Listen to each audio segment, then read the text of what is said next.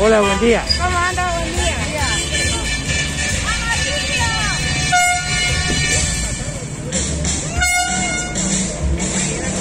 Gracias, Silvio, gracias.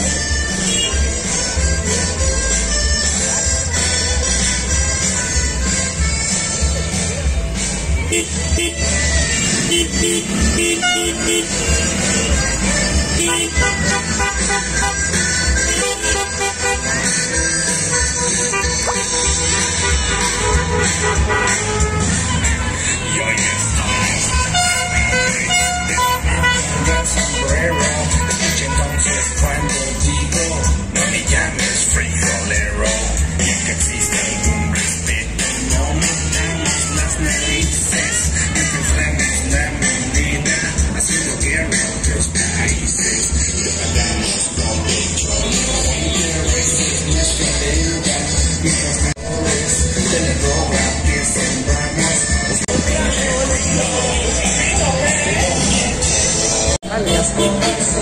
Buen día a la audiencia, muchas gracias por la entrevista. Esto se debe, esta manifestación, a que la conciliación obligatoria del día de ayer cayó por falta de respuesta del Ejecutivo Provincial, lo que demuestra claramente la falta de voluntad política y sensibilidad eh, y empatía hacia los trabajadores y su familia que están pasando por una situación crítica económica producto del impacto de inflación y no hay ningún tipo de correctriz en materia salarial ni en pago de bonificaciones en muchos de los sectores de la administración pública donde permanecían con paros sectoriales como catastro, dirección de ambiente eh, y en el caso de salud pública donde está pendiente el pago de las 44 horas, título, antigüedad, aún las bonificaciones que se pautaron no se cumplieron en tiempo y forma.